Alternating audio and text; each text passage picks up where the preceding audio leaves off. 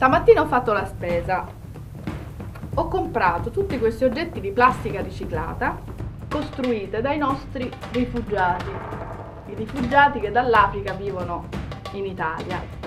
E si sono inventati questo,